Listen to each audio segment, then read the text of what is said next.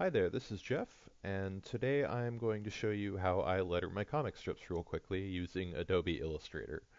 Uh, I've found that Illustrator is maybe not the most intuitive program to use, and I do get a fair number of people asking me how I do my lettering, so I thought it might be useful to walk through it.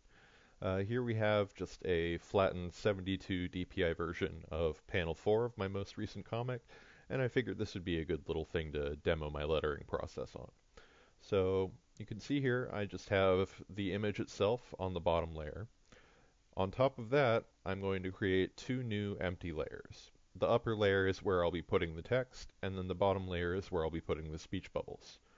Let's go in and enter in some text. I'm going to zoom in just for accuracy's sake, and let's type something in real quick.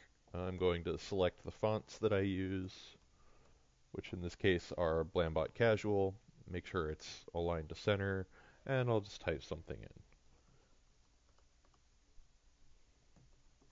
There we go. Uh, let's keep it classy with a fart joke, and we'll have Emily say something in response. Um, one thing I should show off real quick is that you can actually use the lettering tool to determine the basic shape of the text area that you're putting in. So for instance, if I click and drag with the text tool, now it will only put the text in the square that's highlighted. So I can type a whole bunch of gibberish and you can see it's just kind of auto wrapping things. And this can be nice if you're trying to squeeze a lot of text into a small area. But for the purposes of this demo, we don't really need to do that, so I'll just click back again and enter it in manually. There we go. It's a stupid fart joke, which is perfect for this tutorial. So now that I've got the text done and basically positioned where I want it to be, I'm going to click on that lower layer that's still empty, and this is where I'm going to draw in my speech bubbles. I typically like to zoom way in for this just so I can get smooth lines out of it. And using the stylus on my Cintiq, I'm going to go and select the pencil tool, and I'm just going to draw a quick circle around the text. I'm going to click the little icon down here. I have no idea what it's called, but default fill and stroke, that's what it's called. I'm going to click that once. That way it will fill the background of this shape in with white, and it will automatically stroke the shape with one point of black. Now that I've got that set, I'm going to go over here and draw another circle around this. Click that button again, and there we go. Those are the basic speech bubbles. You can see I moved it around a little bit just to get it centered on the text, or as close to it as I can. At this point, what I will do is I'll zoom out a little bit, and by shift clicking on both of these speech bubbles, I have them both selected.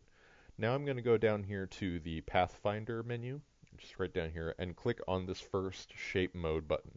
This will unite the shapes, which, which basically just joins all of the lines together and should get rid of the overlap that you can see there. Alright, so you can see it has basically made the shapes contiguous. If I zoom in over here, you can see there's some line overlap here. But the easiest way to get rid of that is to just go up and hold down, click on the pen tool, go down to delete anchor point, and then I want to get rid of this anchor point over here, so I just have to click on it, actually click on the anchor point, and there we go, that's been deleted. Now we just have a little bump there that I'll be able to cover up with the tail of the speech bubble. I do the tails manually as well using the pencil tool, and I'm still on that same layer with the speech bubble shapes. And I can just draw them in very quickly. Uh, I want to get a slightly better shape than that. So there, I'm happy with that.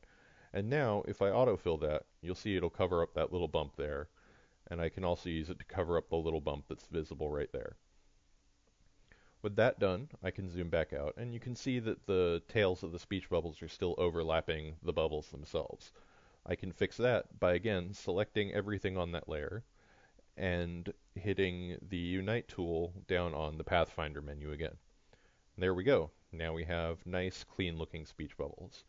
I typically like to increase the uh, weight of the stroke outline by about half a point, just because I think that fits in better with the uh, line weight of my inking so I'm going to go over here to the stroke menu and increase that to 1.5 points. I hit enter, and by deselecting these, you can see that it's done. And that is basically how I do my lettering. I hope that was helpful, and I'll see you some other time.